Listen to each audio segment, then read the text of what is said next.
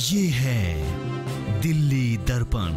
सरकार से अपनी तीन मांगों को मनवाने के लिए पूरे प्रदेश में एच के कर्मचारियों ने दो घंटे तक कामकाज ठप रखा। इसी कड़ी में पहला पावर हाउस सब डिवीज़न पर एच के कर्मचारियों ने दो घंटे तक अपने कामकाज को ठप रखते हुए मांग की कि सरकार बिजली बोर्ड में काम करने वाले कर्मचारियों को जोखिम भत्ते के रूप में दस हज़ार रूपए दे।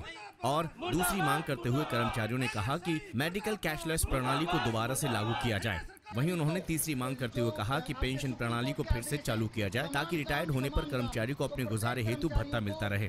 वहीं उन्होंने कहा कि उनकी सरकार से ये मांग तब तक चलती रहेगी जब तक सरकार उनकी मांगों को पूरा नहीं कर देते हैं।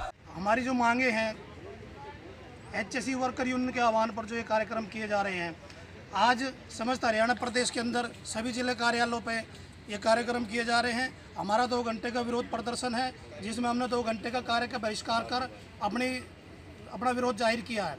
हमारी मुख्य मांगों में जोखिम भत्ता है, जो आज कर्मचारी पोलों पर लाइनों पर काम करते हैं, हादसे हो जाते हैं, उनके लिए आज सरकार द्वारा कोई भी जोखिम भत्ता नहीं है, जिसको हम सरकार से अपील करते हैं कि कम से कम उनको जोखिम भत्ता दस हज़ार रुपये होना चाहिए।